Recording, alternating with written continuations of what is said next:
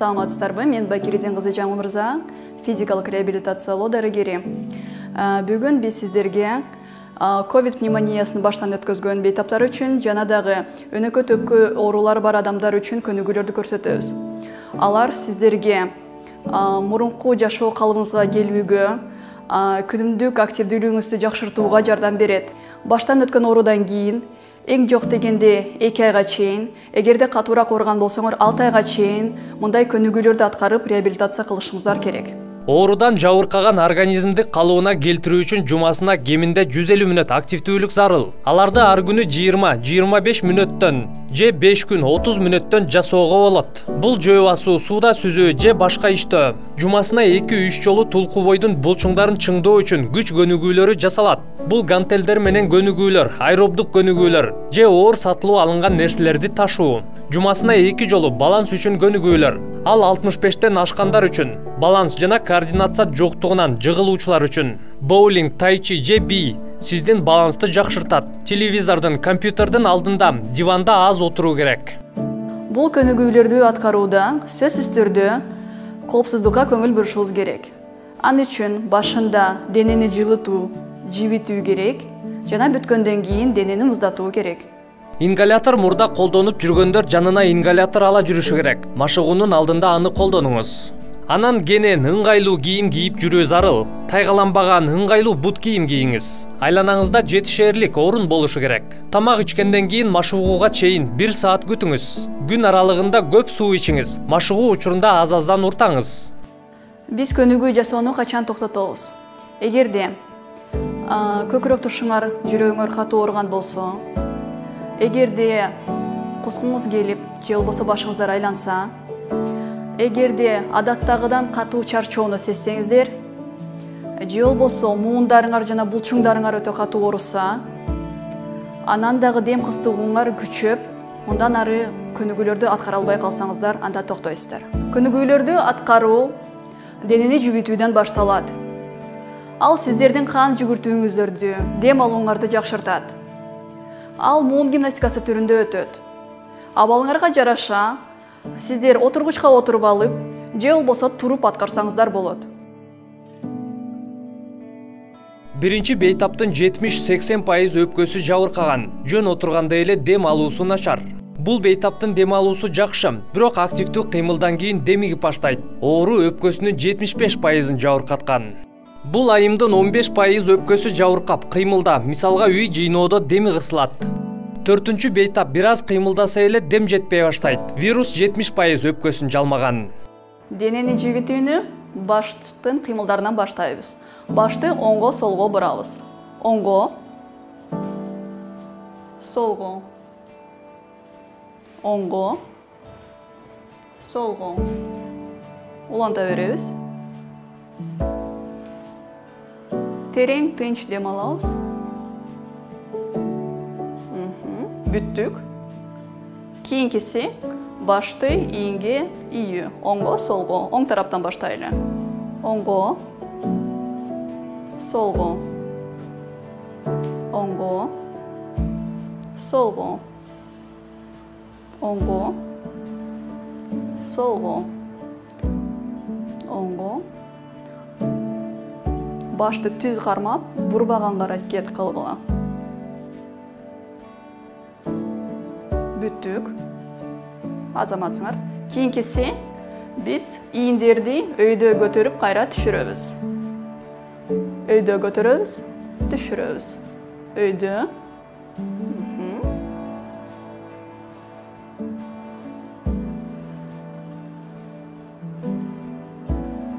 Дагы уланта беребиз. Өтө шашпаңыз бүттүк кийинкиси ийинди алдыга андан кийин артка айлантабыз алдыдан баштайбыз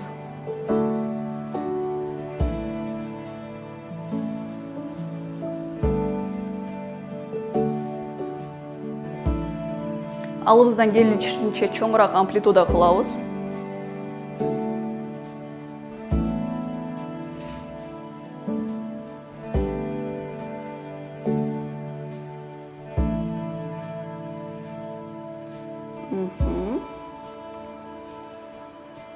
мурдубуз менен терең дем алабыз бүттүк эми артка кылабыз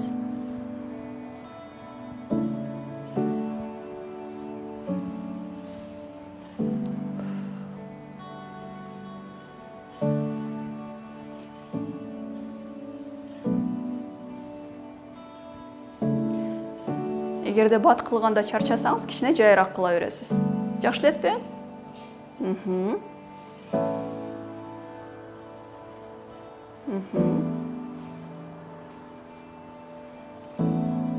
бүттүк кийинкиси колду көкүрөк тушка кармайбыз анан алдыңкы бөлүгүбүз кыймылдабайт үстүңкү тарабыбыз менен оңго солго бурулабыз оңго солго оңго солго оңго солго оңго солго дагы эки жолу кайталайлы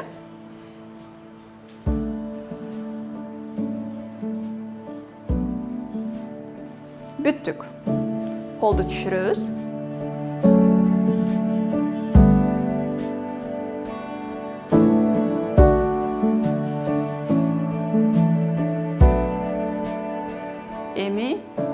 толку боюс менен оң жана сол тарапка ийилебиз оңго солго оңго солго оңго солго оңго солго оңго солго оңго солго дагы бир жолу эки тарапка кылабыз бүттүк кандайсыздар дем алганыңыз жакшыбы кыйналган жоксузбу сизчи жакшы кичине эс алабыз кийинкиси ирети менен тизелериңизди көтөрөбүз сиз отурган боюнча көтөрөсүз эгерде корксоңуз кулап кетем деп анда стулдун отургучтун кармап турасыңар улам бир тизебизди көтөрөбүз оң тараптан баштадык бир эки бир эки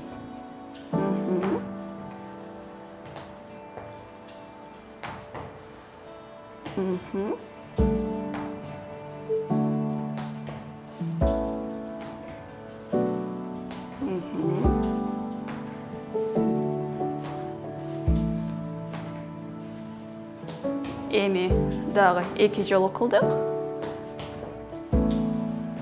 бүттүк кийинкиси бир орунда басуу өзүбүздү мындан аркы көнүгүүлөргө даярдаш үчүн бир аз жылынуу үчүн бир орунда басабыз андан эмесе дагы эле баштай беребиз оң тараптан колубуз да кыймылдайт сиз бутту дагы ушинтип көтөрүп турасыз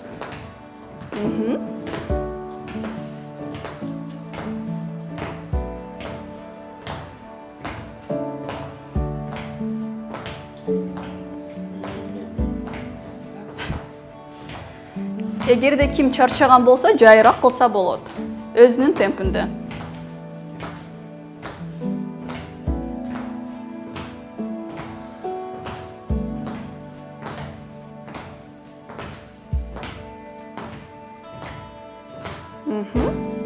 бүттүк азаматсыңар бул көнүгүүлөрдү аткарып жаткан кезде демиңиз кыстыгышы мүмкүн бирок андан чочулабай эле койгула бул адаттагы эле нормалдуу көрүнүш көнүгүү аткарып бүткөндөн кийин дем алууңуз өз калыбына келет жана эртеси күнү дем алууңуз жакшырганын сезесиздер күндөн күнгө ал акыбалыңар жакшырат ошондуктан көнүгүүлөрдү үзгүлтүккө учуратпай дайым аткарып тургула